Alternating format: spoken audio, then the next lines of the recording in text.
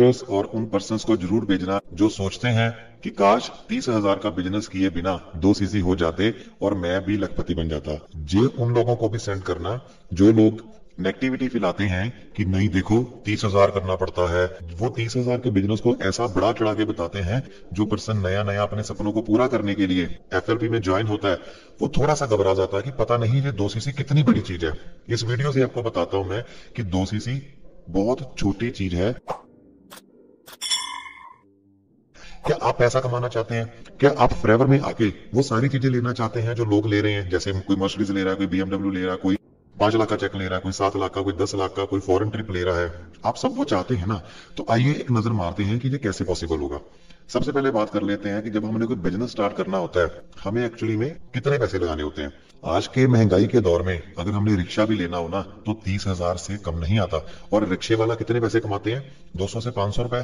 क्या इनका लाइफस्टाइल होता है? नहीं। क्या इनको फ्रीडम होती है? नहीं।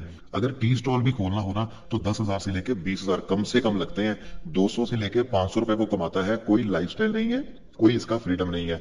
मूची भी बनना हो ना तो हज़ार से दो हज़ार रुपए की इन्वेस्टमेंट होती है। गली गली घूमना पड़ता है। दो सौ, चार सौ तो बंदा कमा ही लेता है, लेकिन लाइफ स्टाइल और फ्रीडम नहीं होता। समोसे, पकौड़े की, जैसे हमारे प्रधानमंत्री जी ने भी एक बार वीडियो में बोला था कि सेल्फ एम्प्लॉयमेंट करनी चाहिए।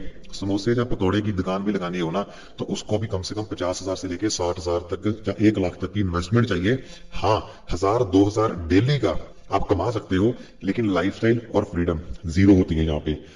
तो ऐसी बहुत सारी चीज़ें हैं एग्जाम्पल्स हैं, जिसमें इन्वेस्टमेंट्स लगती है, उसके बाद आप पैसा भी कमाते हो। लेकिन अगर आप दो सीसी को ऐसे ही देखेंगे कि हर बिज़नेस में पैसा लगता है तो आपसे सिर्फ़ टर्नओवर मांग रही है तीस हज़ार रुपए का। तो वो तो बहुत ईजी है। तीस हज़ार का टर्नओवर करना बहुत ईजी है तो आप घबराए नहीं, किसी की बातों में आए नहीं। बहुत सारे लोग आपको मार्केट में नेगेटिव मिलेंगे, बहुत सारे लोग आपको पॉजिटिव मिलेंगे। आपने देखना है कि आपने किसके साथ जाना है। तीस हज़ार का बिज़नेस अगर आप करते हो, आप एफबीओ बन जाते हो, लेकिन आपको सबसे बढ़िया चीज़ पता क्या मिलती है? आपको इंटरनेशनल ट्रिप लगाने का मौका मिलता है, वो भी फ्री में। क्या बाकी कामों में मिलेगा? नहीं। आपको गाड़ी के लिए पैसा मिलता है, अलग से फ्री में। क्या और कामों में मिलता है? नहीं। क्या आपको आज़ादी मिलती है, कहीं पर भी काम करने की दुनिया में नहीं।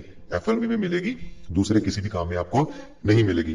तो आज के बाद अगर आपको कोई पर्सन बोले कि दो सीसी ये है या दो सीसी वो है, तीस हज़ार में करना पड़ेगा, ये करना पड़ेगा, वो करना पड़ेगा, उसकी बातें सुनने से पहले, सबसे पहले अंदाज़ा ये लगाएँ कि कोई भी काम करूँगा, पैसे तो लगेंगे ही ना, लेकिन उस काम में आपको उतने ऑप्शन नहीं मिलते ग्रो होने के जितने आपको फॉर एवर में मिलते हैं। तो आज ही डिसीज़न लें, अगर आपने दो सीसी नहीं किए हैं तो फटाफट उसको अगले कुछ दिनों में, अगले कुछ हफ्तों में अपने सीनियर के साथ प्लानिंग करके उसको डन करें और आगे सुपरवाइजर मैनेजर और आगे जाने की प्लानिंग करें, तभी जाके आप बहुत सारा पैसा कमा पाते हो। मुझे उम्मीद है कि आपको ये छोटी सी वीडियो मेरी बहुत पसंद आई होगी। आपको ये मेरी छोटी सी सुझाव वाली वीडियो कैसी लगी, नीचे कमेंट करके ज़रूर बताइएगा। मैं आपके लिए बहुत ऐसी नॉलेजेबल